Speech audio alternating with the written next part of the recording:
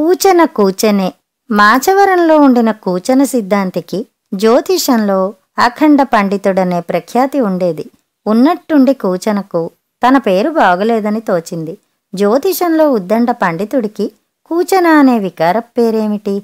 తల్లిదండ్రులు తనకు మంచి పేరు పెట్టలేదని విసుక్కుని తనకు కూచన అని పేరు పెట్టి అన్యాయం చేశారని అతను తిట్టుకున్నాడు. కూచన ఒక రాత్రంతా నిద్రపోకుండా బాగా ఆలోచించి శంకరుడు గొప్ప దేవుడు కాబట్టి కూచన అన్న పేరు విసర్జించి తన పేరు శంకరుడు అని మార్చుకోవటానికి నిశ్చయించాడు.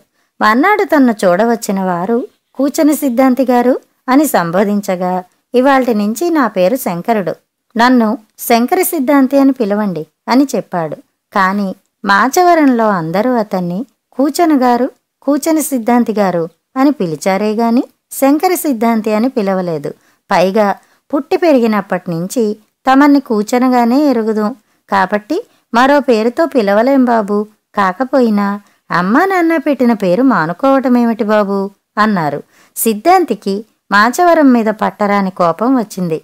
ఆయన ఆ ఊరు విడిచిపెట్టి మరొక ఊళ్ళో శంకర సిద్ధాంతిగా స్థిరపడి పేరు మోశాడు.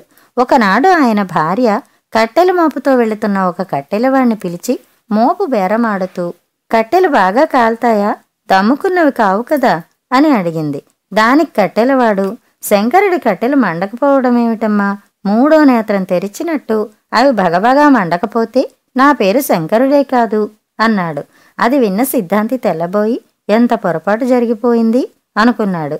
శంకరుడు అన్న పేరు ఒక కట్టెలవాడికి ఉంది అలాంటి పేరు తాను ఎంచుకోవటం ఎంత అవివేకం? సిద్ధాంతి ఆలోచించి ఆలోచించి విష్ణుమూర్తిని తలుచుకుని తన పేరు లక్ష్మీపతి అని మార్చుకోవడానికి నిర్ణయించుకున్నాడు. ఆ మన్నాటి నుంచి ఆయన తన కోసం వచ్చిన వాళ్ళతో తన్ను ఇక నుంచి శంకరుడనిగాక లక్ష్మీపతి అని పిలవమని చెప్పాడు. అయితే ఆ ఊరి వాళ్ళలో ఎక్కువ మంది శైవులు. వాళ్ళు ఆయనను శంకర సిద్ధాంతి అనే పిలుస్తామని లక్ష్మీపతి అని పిలవమని నిక్కచ్చిగా చెప్పేశారు. సిద్ధాంతికి ఒళ్ళు మండి ఆ ఊరు విడిచి మరో ఊరికి మకం మార్చి లక్ష్మీపతిగా వెలిగాడు.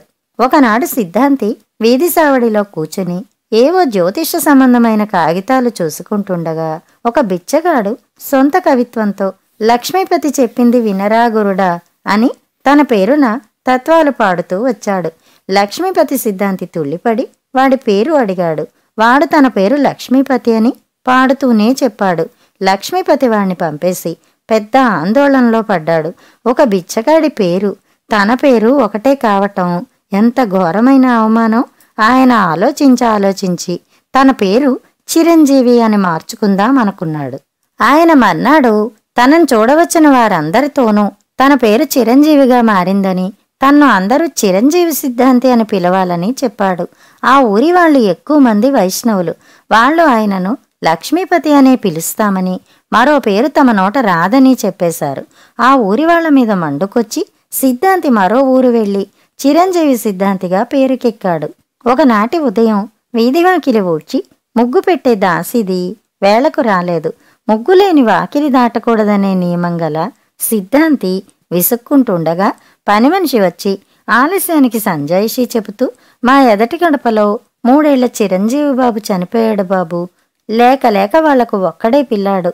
ఆ తల్లిదండ్రుల దుఃఖం చూస్తుంటే నాకు కాళ్ళు కదిలాయి కావు అంటూ చెప్పుకొచ్చింది. సిద్ధాంతికి పూర్తిగా దిమ్మ తిరిగింది. చిరంజీవి అని ముచ్చటపడి పేరు పెట్టుకుంటే మూడేళ్ళకే మృత్యు దాపరించింది. ఛీ ముదనష్ట పేరు నేరక పెట్టుకున్నాను అనుకుని ఆయన తిరిగి తన సొంత ఊరికి బయలుదేరాడు. అప్పటికే మాచవరంలోని వాళ్ళు కూచనను శంకర సిద్ధాంతి అని పిలవకపోతేమే నిష్కారణంగా గొప్ప సిద్ధాంతిని వదులుకున్నామే అని పశ్చాత్తాపడుతున్నారు సిద్ధాంతి మాచవరం చేరేసరికి అక్కడి వాళ్ళు ఓహో శంకర సిద్ధాంతి గారా? బాగున్నారా? ఎప్పుడు తమ రాక ఎన్నాళ్ళకెన్నాళ్ళకు అంటూ సంతోషంతో పలకరించారు. అప్పుడు సిద్ధాంతి తడుముకోకుండా తన పేరు శంకరుడు కాదని మరేదీ కాదని అమ్మ నాన్న ముచ్చటగా పిలుచుకున్న కూచనేనని అదే పేరుతో తన్ను పిలవమని సవినయంగా చెప్పాడు. రంగులు మారిన కోడి ఒక గ్రామంలో ఒక ముసలమ్మ ఒక కోడి పుంజును పెంచింది. తెల్లగా నిగనగిలాడే ఆ కోడిని ఆమె ప్రాణంతో సమానంగా పెంచింది. ఆ వీధిలో అందరూ దాన్ని చూసి ముచ్చట పడేవారు ఒకనాడు ఆ పుంజు దీపాల వేళ అయినా ఇంటికి రాలేదు. ముసలమ్మ అందరి ఇళ్ళకు వెళ్ళి అడిగింది కానీ ఒక్కరూ కోడిపుంజు జాడ చెప్పలేకపోయారు. పాపం! ముసలామె ఆ రాత్రి తిండి కూడా సహించక పస్తు పడుకున్నది. జరిగినదేమంటే ముసలామి కోడిపుంజు నాలుగు వీధుల అవతల చాలా కోళ్ళుంటే వాటితో చేరిపోయి గింజలు పొడుచుకుని తింటూ అక్కడే ఉండిపోయింది. ఆ కోళ్ళ యజమాని అయిన రంగయ్య తన కోళ్ళను గూట్లో పెట్టటానికి పిలుస్తూ తెల్ల పుంజును చూశాడు. బాగా కండపట్టి నిగనిగలాడుతున్న పుంజును చూడగానే దాన్ని ఉంచేసుకోవాలనిపించి రంగయ్య పుంజుకు పచ్చరంగు వేసి కోళ్ళ గూట్లో వదిలేశాడు. ఆ పుంజు ఆ రాత్రంతా గూట్లోనే ఉండి మన్నాడు తెల్లవారి రంగయ్య కొడుకు గూడు తెరవగానే తప్పించుకుని పారిపోయింది. ఈ సంగతి తెలియగానే రంగయ్య పుంజును వెతుకుతూ బయలుదేరాడు. ఈలోగా పుంజు లక్కబొమ్మలు చేసే గోపాలయ్య పెరట్లోకి పోయింది. గోపాలయ్య దాన్ని చూసి సంతలో అమ్మితే దానికి మంచి ధర వస్తుందనుకుని దాన్ని పట్టుకుని దాని సొంతదారు గుర్తించకుండా ఉండగలందులకు దానికి తెల్ల రంగు వేసి ముంగిట్లో దాన్ని గుంజకు కట్టేసి దాని ముందు కాసిన నూకలు వేసి తాను బొమ్మలు చేసుకోసాగాడు. తెల్లవారుతూనే తన వీధి వాళ్ళను నలుగురిని వెంట పెట్టుకుని వీధి వీధి తిరుగుతున్న ముసలామె గోపాలయ్య వీధికి వచ్చి అతని ఇంటి ముందున్న పుంజును చూసింది. ఆమెతో పాటు ఆమె వెంట ఉన్న వారందరూ దాన్ని ముసలామె కోడి అని పోల్చారు.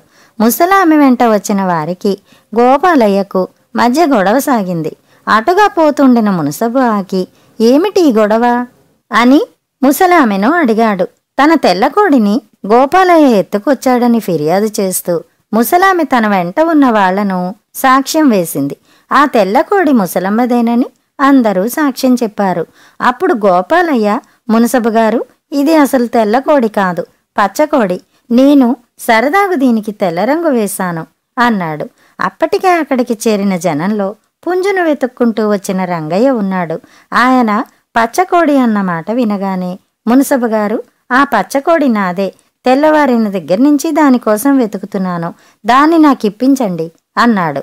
ఇంకోరి కోడిని దొంగలించి దానికి రంగు వేసినందుకు నీకు పాతిక రూపాయలు జరిమానా అన్నాడు మునసబు గోపాలయ్యతో. రంగయ్య పుంజును తీసుకుపోబోయాడు.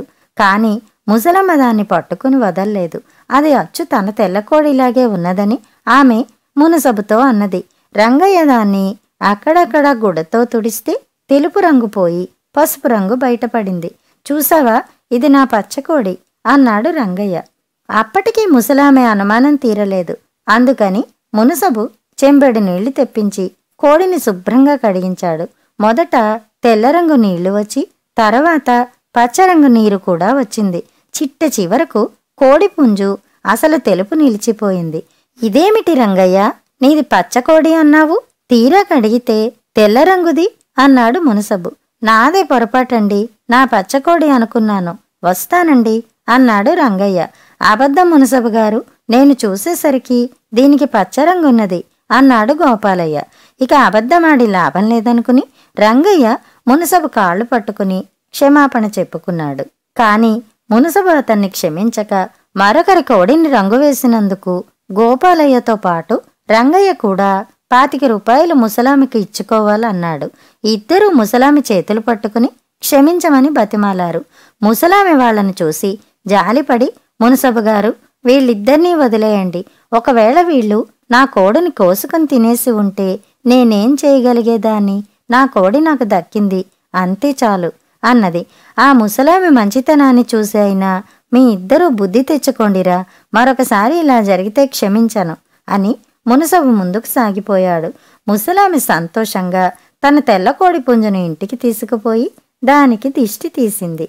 కథ కంచికి మనం ఇంటికి.